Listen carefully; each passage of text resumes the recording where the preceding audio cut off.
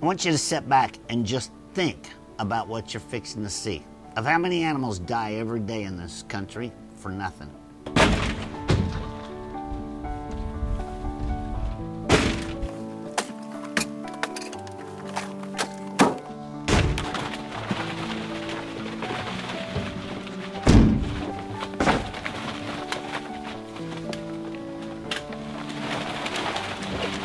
All you read nowadays is in the news that our president and Congress is ready to push a button, get involved in world wars that really have nothing to concern us. Meanwhile, here in America, we have one of the worst wars of our own that's totally being ignored. That's starvation. The question is, is how come Congress and the president doesn't step up and do anything to stop children from going to school hungry?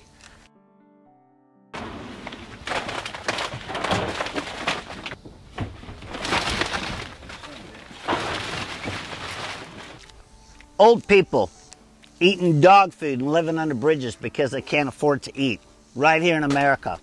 Meanwhile, one city here in America throws away more good food than America could even use.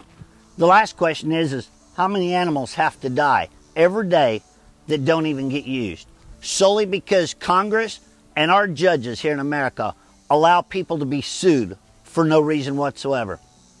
So I challenge President and Congress to do something about this. Instead of landfilling all of this food that we could feed America with, let's just stop pulverous lawsuits and give away the food so the grocery stores can mark this down and people can afford to eat right here in America.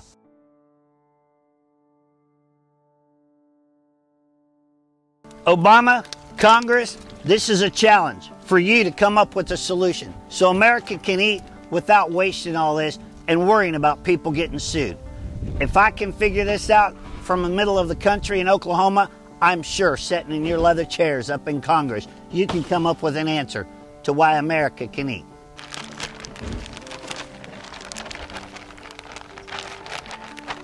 Can you afford to eat crab? I can't, but the landfill can. Let's stop this nonsense and feed America.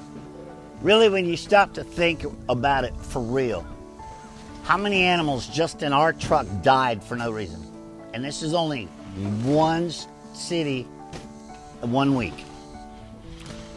I bet you 500 million animals a year die for nothing.